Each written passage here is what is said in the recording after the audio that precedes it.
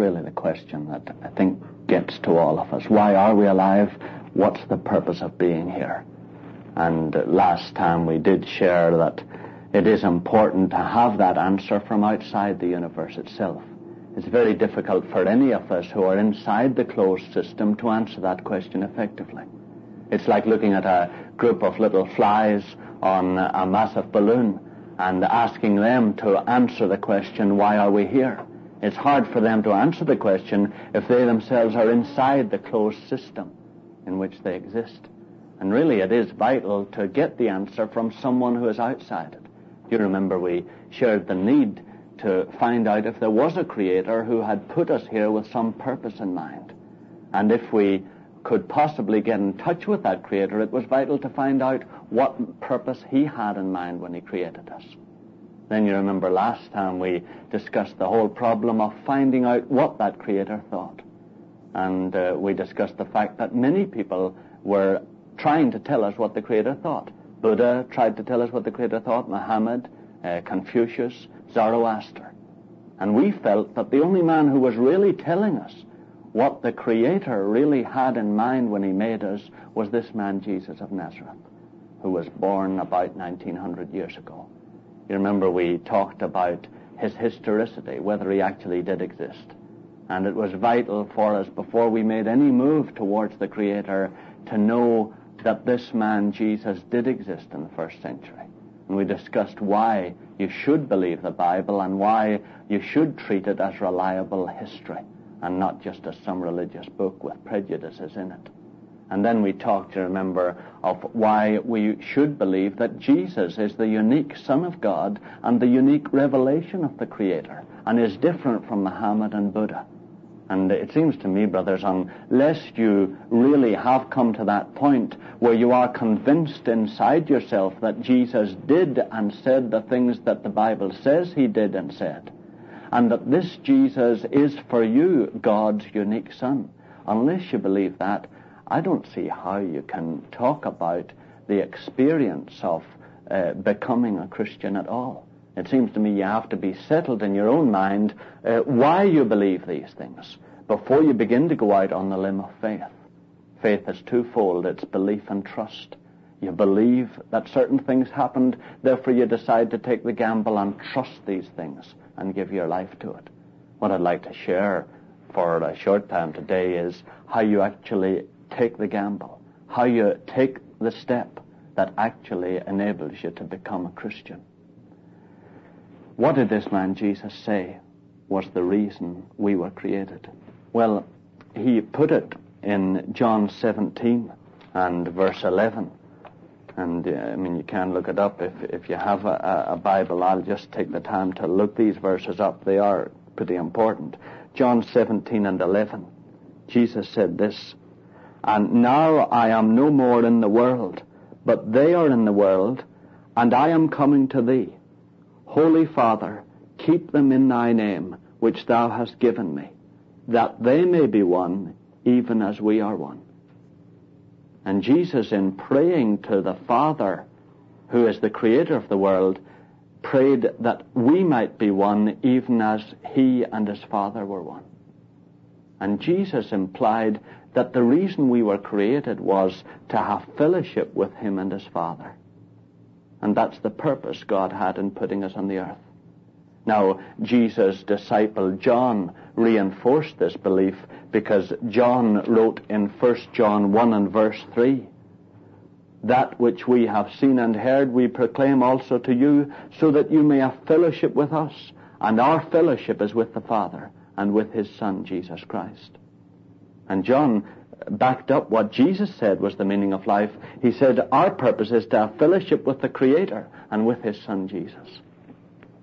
And that, Jesus said, was the reason we were alive. Not to go through karma, not to purify ourselves so that we would not have to return in continual reincarnations. Not even that we might make the world a better place, not even that we might be good men, but that we might have fellowship with God, the creator of the world, and that's why God made us. And that's why Jesus said it was vital for us to have the same kind of life that his Father had. Uh, you can't have fellowship with a dog. because it's a different kind of life running through the dog. It's just extremely difficult to discuss, discuss predestination with a dog. And it's extremely difficult for him to really appreciate Bach's music. And it's very difficult for him to discuss how you feel about him or how he feels about you. You can't have fellowship with one another because it's a different kind of life that runs through both of you. Jesus said, you are made to have fellowship with me and my Father, so it's vital that you have the same kind of life running through you as we have running through us. And that's why Jesus repeated again and again that he had come to give us life and to give us life more abundantly. That his purpose was to give us that kind of life that he and his Father shared, so that then we could have fellowship with them we would have the same kind of life, the same kind of understanding as they had. You remember Jesus said in, oh, it was John 14, I think, in verse 6, I am the way, the truth, and the life. The way to enter into this life is to receive me, because I am that life. And I, I, I think that's true, brothers, that, that Jesus said that the reason we're here on, on earth is to receive Him and His life so that we would become the kind of people that could fellowship with him and his Father forever. And you remember Jesus said that that kind of life is given through a special person that he would send us. And it's John 16 and verse 15. John 16 and 15. All that the Father has is mine. Therefore I said that he will take what is mine and declare it to you. And Jesus is talking about the Holy Spirit. He says in John uh, 16 and 13, when the Spirit of truth comes, then he will take what is mine, the unique, uncreated life that I have, he will take from me and he will impart it. The Greek word for declare means impart or communicate it. He will communicate it to you. And that, Jesus said, is the great need that we men have and we women. We have to receive this new kind of life that enables us to be like him and his Father. And it ties up, you know, with the whole story that we've often gone over together in Genesis. It ties up with the whole interpretation of Genesis. Jesus' big emphasis was not you must have your sins forgiven, but you must have your sins forgiven so that you can receive this unique life that my Father and I share. Now you may say, why should that be? Is it just because it's divine life compared with our created life? Yes, that's one reason. The life that we received at the beginning of the world was just natural physical life. That's the life, you remember, that God breathed into us when He breathed into His spirit, His spirit into us. And we became living souls. We became living psychological and physical beings with a capacity for this new uncreated life. But we were not given that new uncreated life. Instead, uh, God told us in Genesis that that life was made available to us in the tree of life. And you remember God put in the midst of the garden a tree of life. And God expected us to go and receive that new uncreated life from the tree of life voluntarily, and thence to be born into His Trinity family. And that was God's plan for us. And really, we missed the boat. We just refused that uncreated life. So one of the reasons we have to receive the uncreated life is it is divine life.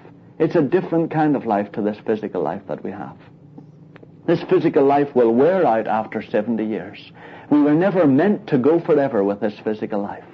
That's why when we come to 70 or 80 or 90, it dies out. It's God's way of showing us, look, the stuff that you have will not last you forever. It's only physical, mental, emotional life. It is not spiritual, uncreated, supernatural life. So one of the reasons we have to receive this life is so that we can live forever. But another reason is this life of God contains the very genes of God. Brothers, it contains the very qualities of God himself. It contains love, the fruit of this life that is at times called in the New Testament the Spirit, you remember.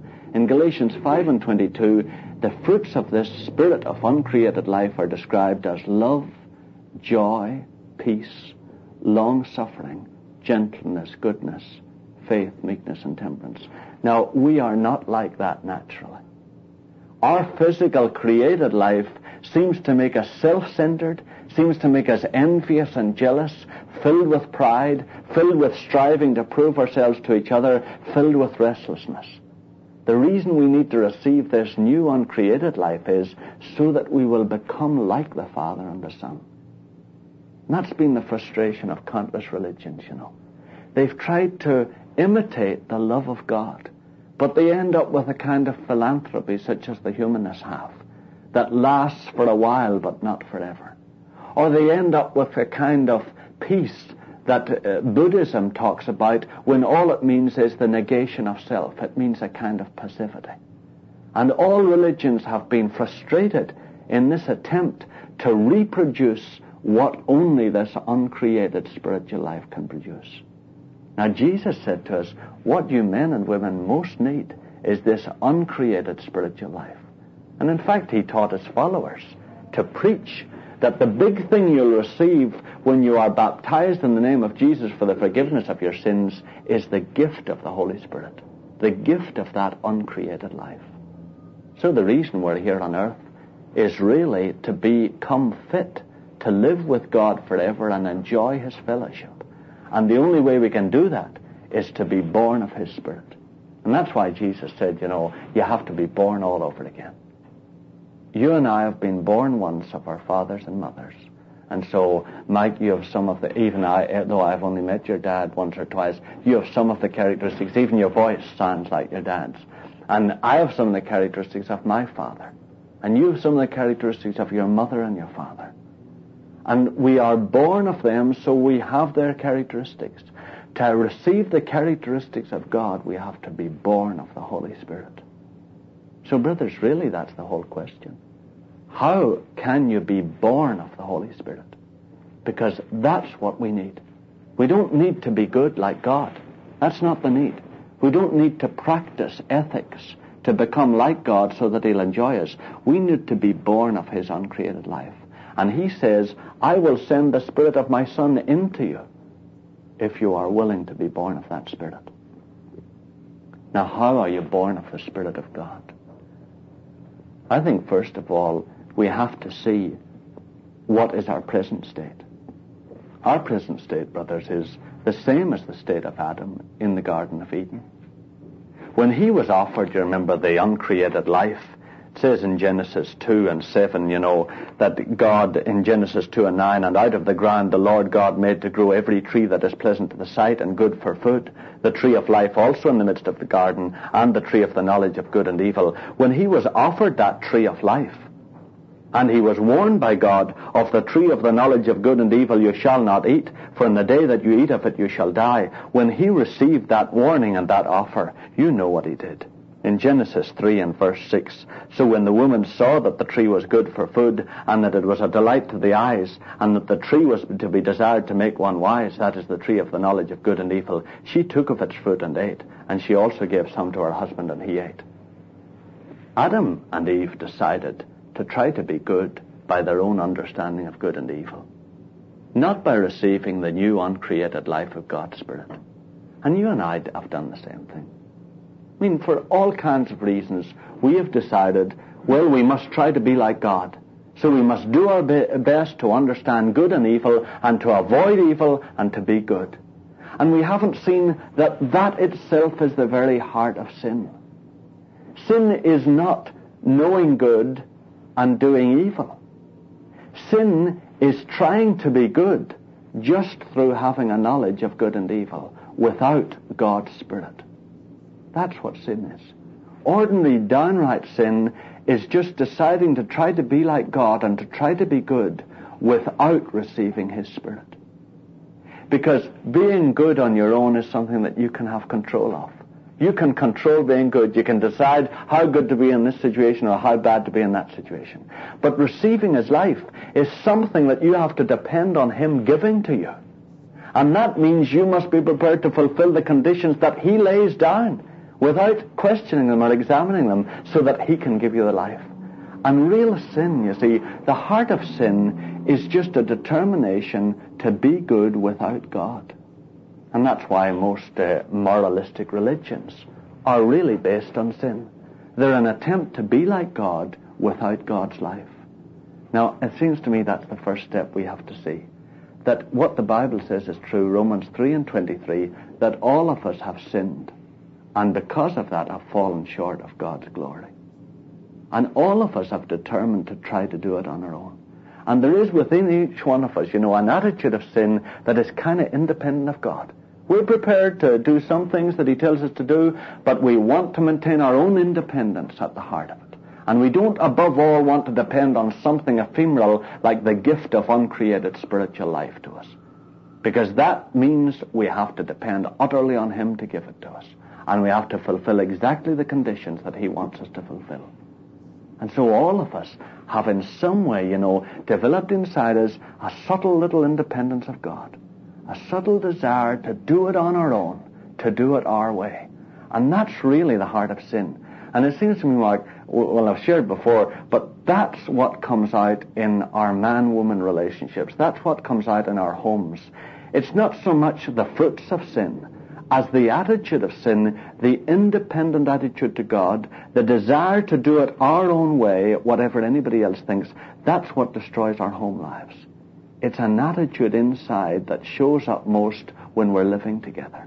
Now, sin is basically an attitude. It's S an I, a big I.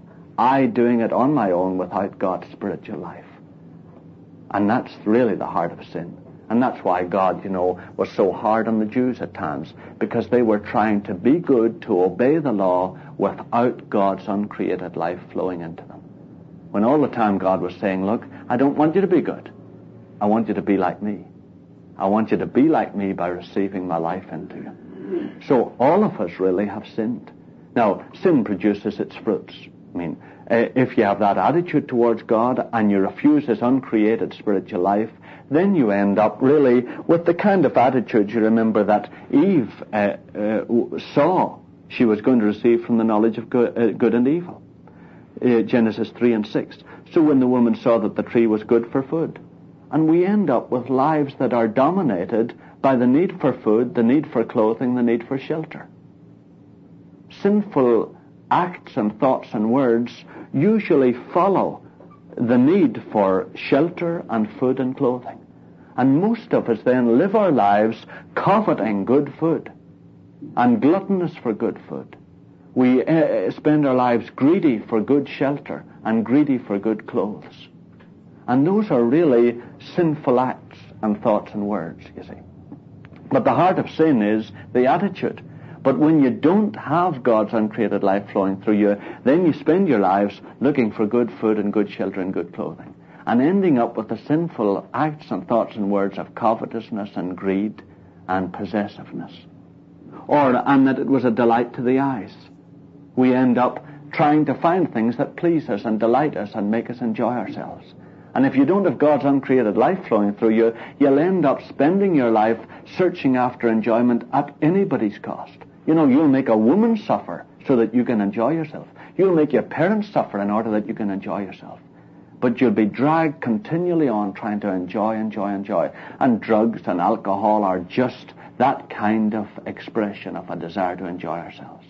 And that the tree was to be desired to make one wise. And you'll end up trying to prove yourself very bright and wise all through your life.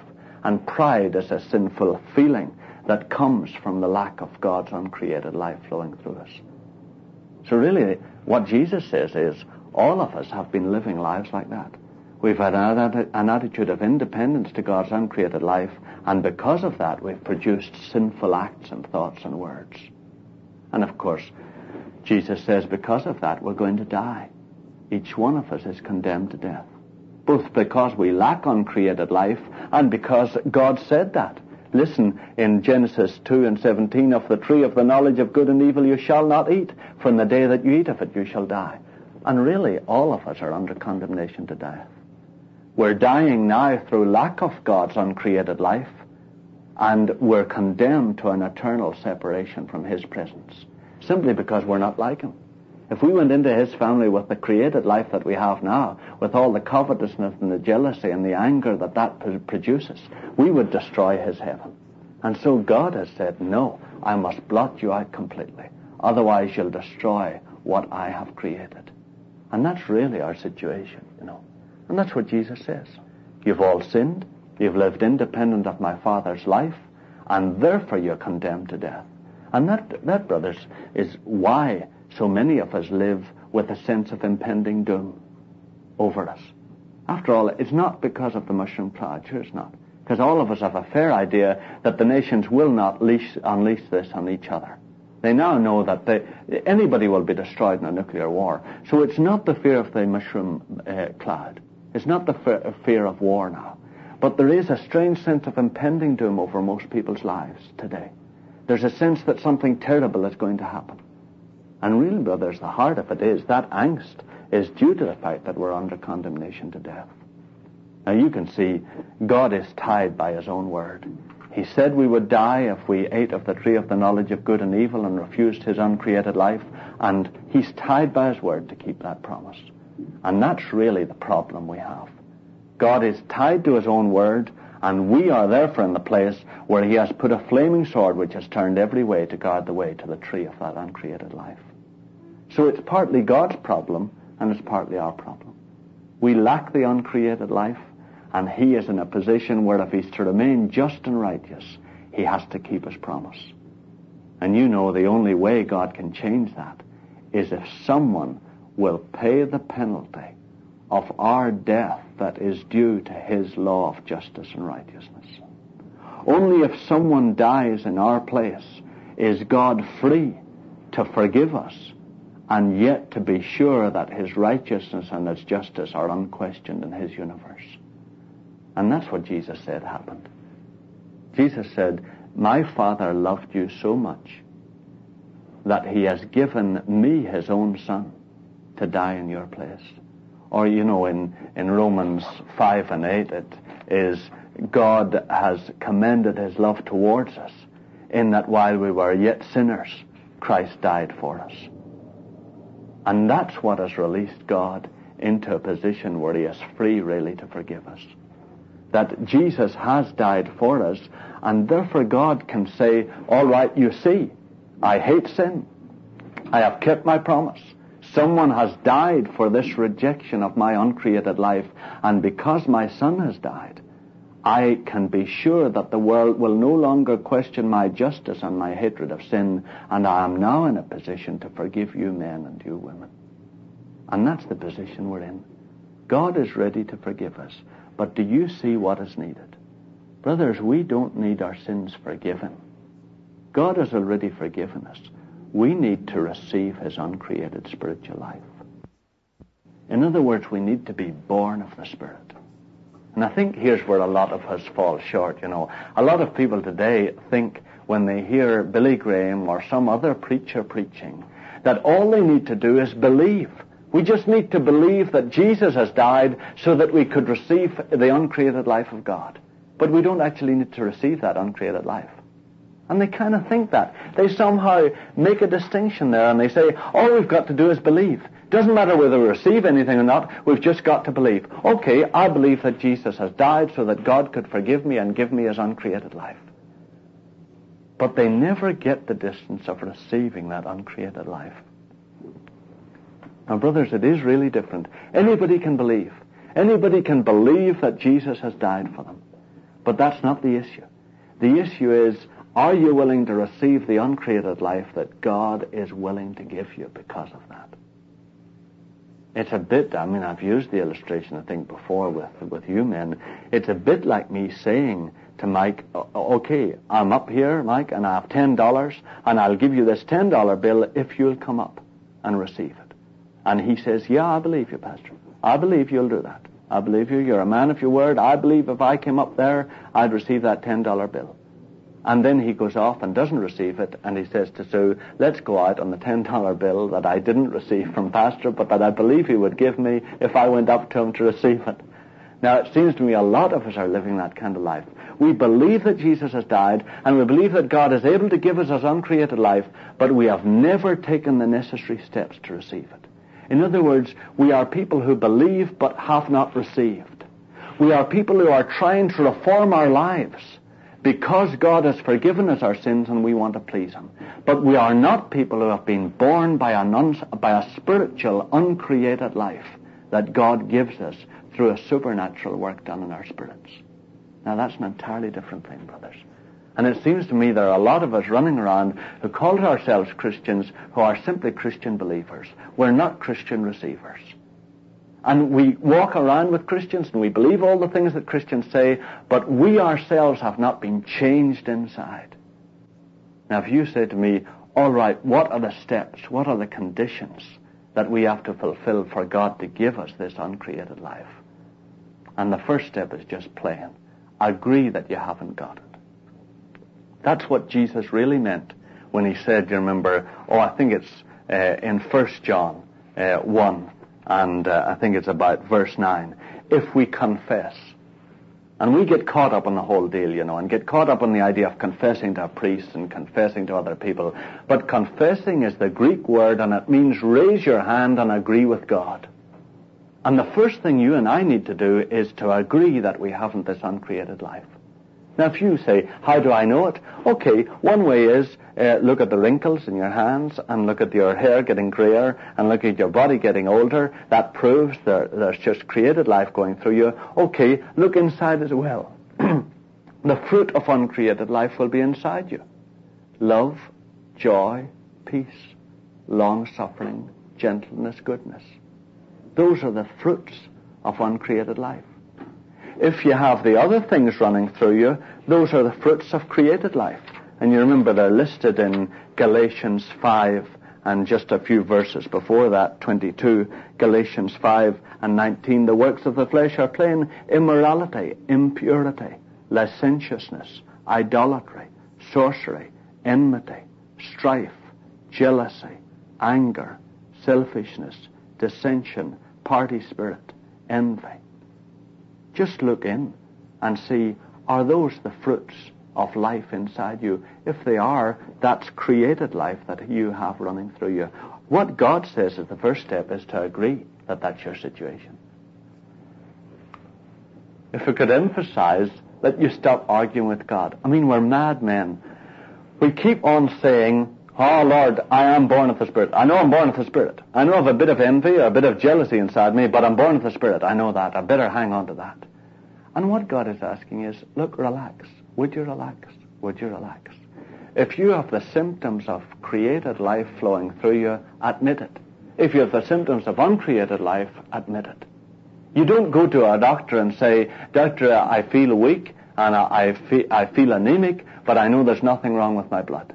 You don't. You say, look, I feel anemic, I feel weak. Now, is there something wrong with my blood? Now, that's what God is saying. If you have the symptoms of created life flowing through you, admit it. If you confess your sins, He's faithful and just to forgive your sins, but the important thing is to cleanse you from all unrighteousness by giving you the uncreated life of His Spirit. The first step is a thorough confession, brothers. I think it's really being honest with God. Really confess sins one by one as far as you can see them. Be honest about the things in your life that aren't like Jesus. Be honest about them. You know, even it seems to me, if we are Christians here this afternoon, there's a new influx of the life of Jesus if we are honest about some things that are present in our lives that we know aren't of God's will. There's just a new influx. When you come into a new brokenness today and you say, Yes, Lord, I agree. I'm not going to protest any longer. I'm not going to pretend any longer. This is the thing that comes up from my spirit. I can feel a real impatience at times that I cannot control. I can feel a real irritability, a real resentfulness that I cannot control. Lord, I admit that. I admit that's inside me and my spirit. Now, I know that that is not the kind of life that your Holy Spirit produces. Now, I agree. I confess that sin to you. That's the first step, brothers. A real confession. An honest agreement with God. Not just confessing the things that you want to confess. And then, you know, Jesus said, except you repent, you will all likewise perish. In other words, even if you agree that you haven't uncreated life, if you don't turn from the symptoms in your life that are wrong, then you will still die for lack of uncreated life. And the second step is a real repentance. And brothers, I, I think we've, I mean, I think we've got weak and wishy-washy about what repentance is. I think we've thought that repentance is being sorry for our sins. Or repentance is crying a lot. Or repentance is being really fed up and exasperated by the mess we've got our lives into. And it's a kind of self-pity. But repentance in the Bible is not that. Repentance in the New Testament is metanoia in Greek. It's a change of mind. It's a real godly sorrow to the Father and to the Son for causing Jesus to be put to death. It's an outward thing, you see. It isn't a self-centered thing. I think a lot of people cry a lot, and they're really crying for themselves. They're crying for the emotional mess they're in. But real repentance is, Lord Jesus, I'm sorry that I caused your death. I'm sorry that I caused you to go to Calvary for the way I am. And I'm determined to turn from these things. And I don't know, brothers, you know, I think a lot of us say, oh, but Pastor, you can't turn from them. You can only say you'll try to turn. No, God demands that you change your mind, that you say, Lord, I'm going to trust that you're going to give me your life after I do this. And I'm going to trust that you're going to give me the grace to live the way you want me to. And I turn from these things now, whatever it's going to cost me. I'm not going to make provision for that envy. I'm not going to pr- make provision for the lust. I'm not going to make provision for the pride. I'm going to turn from these things now, whatever it costs me. And real repentance is a turning from the things that are wrong in your life. And it's a real making apology. I think a lot of us don't realize that in the old days, the evangelists emphasized that you really make apology to people that you have wronged that you make restitution for money that you stole or, or things that you stole. And I think a lot of us have not received God's uncreated life because we haven't done that, you know. And we've left those things untouched. And we've held back from it because we didn't like the idea, we didn't like the suffering that it would involve. And I think what we need to begin to see is that God demands that we actually turn from those things and stop doing them, whatever it costs us. And trust Him, you know, to make up for what we lack. And then the third step is really what Jesus said in Revelation 3 and 20. Behold, I stand at the door and knock. If any man hear my voice and open the door, I will come into him and will sup with him and he with me. And the third step is a real receiving of the Spirit of Jesus. It's receiving the Spirit of that uncreated life. You may say, you know, well, how do you know that that spirit of uncreated life has come in? Well, it reproduces in you the whole life of Jesus. It makes you feel like Jesus inside. You find, instead of envy coming up in your heart, you find long suffering and gentleness and humility coming up from inside. You find that you feel like Jesus from the inside. It's like a new person coming inside you. And I think it's vital for us to see that it's not through the peace that you feel. A lot of people say, oh, it's through the peace. You feel a great emotional peace. Some of us haven't felt a particular sense of peace. Some of us say, oh, it's through the great emotional sense of joy that you feel. No. Receiving the Spirit of Jesus is receiving something that comes as quietly as Jesus entered Mary's womb. And you know how quietly that was. Nobody could discover that they, something new had come into Mary's womb. Suddenly it just appeared. And it's like that with a person who receives Jesus into himself. It's just Jesus is there. There may be a sense of joy, there may be a sense of weeping, there may be a sense of peace, but really it's separate from all those things. It's just you know that there's a different person inside you because he makes you feel different about other people. You find a love coming out from you for other people that is different from the love you had before. And brothers, you would agree that that has happened with every one of us, every new brokenness we've come into. I mean, Jesus has come into us in a new way, and there's been a freshness and a vitality that wasn't there before. There's been a newness of life that is just different. And that's really uncreated life. And you can know, you can know that you're born of the Spirit simply by the kind of person you have become, you know. You have the fruit of the Spirit in your life. Whosoever is born of God does not commit sin. If you're born of God, you don't sin. You don't willingly disobey God because he's your loving Father. You have only a spirit of love towards him. You want to please him with all your heart. It's Jesus in you that has this attitude to your Father. And brothers, I think every time we sense a different life coming into us, we must recognize that that is uncreated. That is created life that is flowing through us. That is the old independent life Whenever we sense any envy or any jealousy, we must get down and deal with God and really come into honest confession and real repentance and into a real receiving of Jesus' life. Then I think it is very important to see, you know, it is the marks of that spirit inside you that gives you assurance. I think a lot of us have been foolish about this. We've said, oh, well, you have assurance by the Word. The Word gives you assurance, you see. Because doesn't it say there, Revelation 3 and 20, Behold, I stand at the door and knock. If any man hear my voice and open the door, I will come into him and will sup with him and he with me. Now, did you open the door? I opened the door. Did Jesus come in? Jesus came in. And we often think that uh, assurance is a kind of brainwashing. Did you take the steps A, B, and C? Then God must have taken step D. Now, brothers, that is not assurance. That's kind of intellectual brainwashing, that you believe the right things. Some of us say, oh, well, you know you're a child of God because you have a kind of happiness about you. know, there are many non-Christians who have a good happiness about them because they're not afraid of hell and they don't fear God because they don't believe there is a God. And some people say, oh, well, it's because of the kind of company you come into or the kind of fellowship you have. No. The marks of a child of God are plainly laid out there, you know, in Galatians 5 and 22, 23. The fruit of the Spirit is love and joy and peace. And it's a spirit. It's a difference in your spirit. It's your spirit is a loving spirit. Your spirit is a joyful spirit. Uh, it's a spirit of obedience a spirit that rejoices to obey the Father. If you want to know what a Christian feels like inside, he feels like Jesus. I mean, Jesus said, Did you not know that I'd be about my Father's business? My meat is to do the will of him that sent me. My meat, my food and drink each day is to do my Father's will. That's, I couldn't live without doing that. That's life for me. Now, when Jesus comes into one of us, that's the kind of spirit that comes out from us a desire to do God's will, a rejoicing to obey Him. His law is not heavy for us. It is not burdensome for us. Even when we come up against those things, you know, that you cannot control, that constant besetting sin that you cannot get hold of.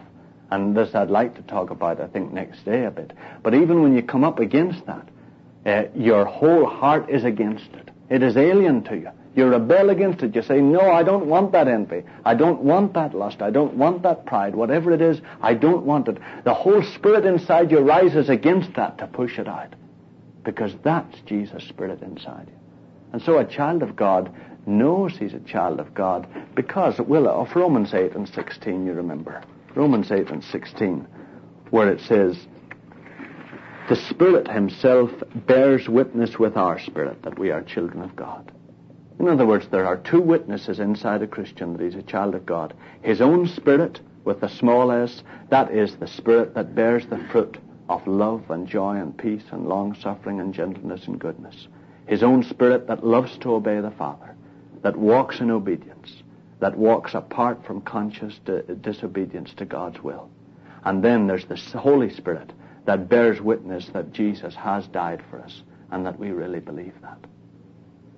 Now, really, brothers, that's the heart, it seems to me, of becoming a Christian.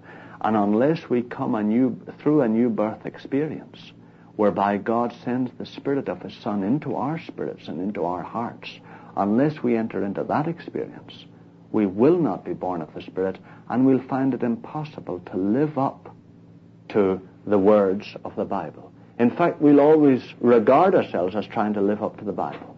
Instead of finding that the Bible describes the kind of life we experience. And that's really the way it should be, you see. We should be finding that the Bible describes the kind of life that we're experiencing within. And if a person is really born of the Spirit, that will happen. Now you know that countless people have not entered into that. Countless people are just believers. And you can tell they're believers because they're living disobedient lives. And they often have rebellion in their hearts.